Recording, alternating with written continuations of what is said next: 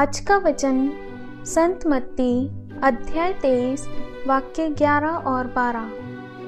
जो तुम लोगों में से सबसे बड़ा है, वह तुम्हारा सेवक बने। जो अपने को बड़ा मानता है, वह छोटा बनाया जाएगा। और जो अपने को छोटा मानता है, वह बड़ा बनाया जाएगा।